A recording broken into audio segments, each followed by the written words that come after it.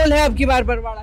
माहौल तो जी तिकोना मुकाबला में रणबीर गंगुआ की जीत निश्चित है। वैसे वो राहुल गांधी भी अणवा करीब एक दो दिन में बरवाड़ा में खास तौर पर रामनिवास घोड़ेला की रैली करने खातर वो उनका आने का कितना फ़र्क राहुल गांधी तो ना कोई नफा ना कोई नुकसान। मैं आपने वोट उठाई गिनती भी करा कि भाई कितने हज़ार वोट किस पास से जाऊँगे कितने किस पास वोट की तो जी जो पोलिंग होगी जी मैंने कहा चलो सवा लाख के आसपास वोट पोलिंग होगा संताजा।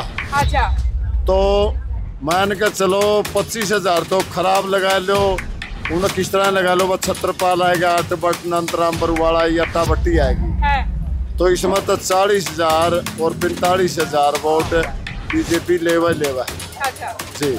और रामनिवास गौड़ला फिर पच्चीस के आसपास है। नमस्कार मैं हूँ अंकिता सिंह और आप देख रहे हैं सिटी पैक न्यूज़। भाई इस वक्त आपको लेकर के आई हूँ बरवाड़ा हल्के के न्याणा गाँव के अंदर और फ़िलहाल ये न्याणा गाँव के लोग मेरे साथ मौजूद हैं। इनसे बातचीत करेंगे।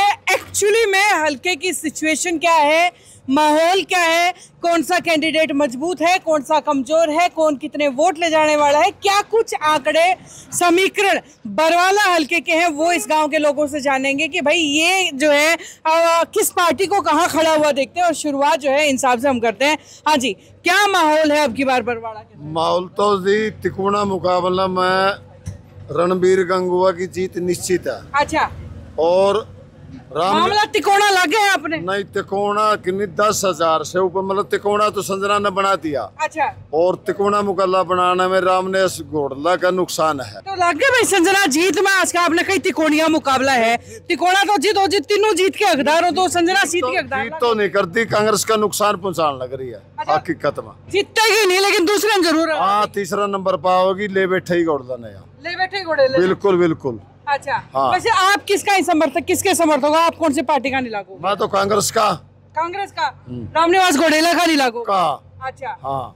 चलो। वैसे वो राहुल गांधी भी अणवा करीब एक दो दिन में बरवाड़ा खास तौर पर रामनिवास घोड़ेला की रैली करने खातर वो उनका आने का कितना फ़र्क मानो राहुल गांधी तो ना कोई नफा ना कोई नुकसान सैलचा से नुकसान हो रहा है रामनिवास घोडेला का। अच्छा। जी जी। तो सैलजा जाओ तो फ़ायदा होगा। बहुत फ़ायदा होगा अगर जे सैलजा नहीं बेटी एडी चोटी का ज़ोर लगाना पड़ेगा। जो सैलजा घर बैठी है रूसी है तो उसका नुकसान है। अच्छा। हाँ और हम तो मैं तो हुड्डा साहब की गलती मानू हूँ बस।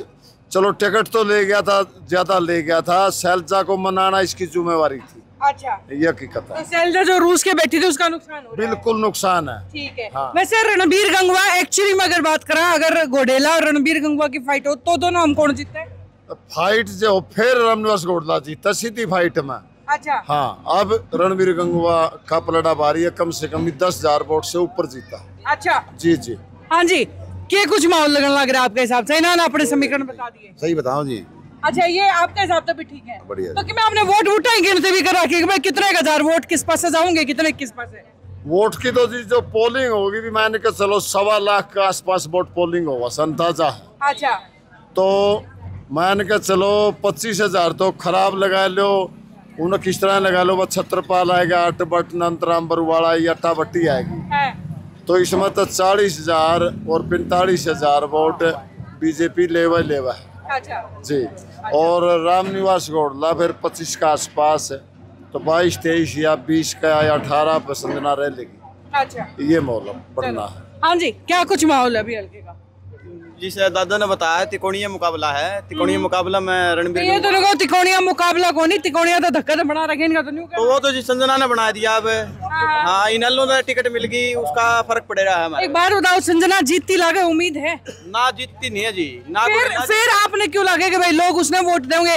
जित न्यू मेरा जीत में वोट नहीं जाने लग रहा फिर वो लोग वोट क्यों देंगे? मतलब इनालो तो टिकट ले आई ना तो इनालो का वोट बैंक थोड़ा बढ़ गया। बीएसपी तो इनका गठबंधन है तो बीएसपी का भी वोट बैंक है थोड़ा बहुत। अच्छा। तो उसकी वजह से या फाइट में आएगी थोड़ी ही। अच्छा। हाँ ये फाइट में है। गुड़ेले के साथ में बस ओनली अच्छा। हाँ। फाइट में तो गौड़ला है जी दूसरा नंबर पे ये तो हकीकत है। अच्छा। हाँ संजना तो जानी तो है तीसरा नंबर पे। हाँ हाँ। और बाकी या ले बैठेगी गौड़ला ना। और आवा है अच्छा। हाँ। अच्छा वो सातरोड गाँव के लोग भी रुक के मान लगे। उन्होंने बोले जी ना तुम्हारे गाँव की बहू ना हमारे गाँव की बेटी। अभी दो तीन दिन तो शुरू हुआ है। मैं देखू दे भाई रामनिवास घोडेला भी जो हर जगह जाके मंचा में कहने लगे भाई वोट काटुआ तो बचना है। तो यह जो प्रचार का एक नया तरीका होया है संजना के खिलाफ उसका क्या फ़र्क पड़ेगा चुनाव में? देखो जी उसका तो घना फ़र्क तो पड़ता को नहीं यहाँ बहू ना छोरी सात रोड का इसका कुछ नहीं लेकिन तो जी आप हो हम भी सा सात रोड में तो देश प्रॉपर्टी खरीदे बैठे है भाई बास को। इसकी ये सात रोड की नहीं है अच्छा ये तो बदौड़ की है तो इस चुनाव ये जो फैक्टर बार बार रिकॉर्ड के लाने लग रहे हैं तो इसका कोई असर पड़ेगा चुनाव पे नहीं इसका कोई असर नहीं पड़ेगा कोई फ़र्क नहीं पड़ना हाँ जी आप बताओ ये तो दो की अलग अलग राय होगी आप बताओ तीसरी राय मैडम मैं तो यही कहना चाहूँगा इस चुनाव के अंदर पुरानी पेंशन एक अहम मुद्दा रहेगी अच्छा कर्मचारी इस चुनाव को मोड़ने में एक अहम भूमिका निभाएँगे। मोड़ेगा किस तरफ़ ये तो बता दो। जो पुरानी पेंशन बहाल करेगा। वो तो दोनों ही अपने अपने तरफ़ नहीं नहीं नहीं वो कर्म, कर्मचारी बड़ा समझदार है। हाँ, और यहाँ की शासन और सत्ता को चलाने में कर्मचारी का अहम योगदान है। उनको सब पता है पुरानी पेंशन कौन बहाल करेगा? जो पुरानी पेंशन बहाल करेगा कर्मचारी उसके साथ है। हम पार्टी विशेष की कोई बिना बात नहीं करेंगे। बिना नाम लिए कांग्रेस का नाम ले नहीं नहीं नहीं नहीं हम किसी पार्टी का नाम नहीं लेंगे बिल्कुल भी नहीं लेंगे। या बंद किसने करी थी? नू पूछ लो एक बारी तो। हम किसी पार्टी के साथ नहीं है जो पुरानी पेंशन बहाल करेगा। यदि बीजेपी सरकार भी हमारी पुरानी पेंशन बहाल करती है हम उसका भी धन्यवाद करेंगे। यदि कांग्रेस पुरानी पेंशन बहाल करती है हम उनका भी धन्यवाद करेंगे। यदि इनलो पुरानी पेंशन बहाल करती है हम उनका भी धन्यवाद कर देंगे। क्योंकि कर्मचारी है ना किसी एक विशेष पार्टी के साथ नहीं होता। वो सरकार के साथ होता है। जो हमारी पुरानी पेंशन बहाल करेगा, हम उनके साथ हैं, चाहे वो कोई भी पार्टी हो। हाँ जी, इसी गाँव से हो।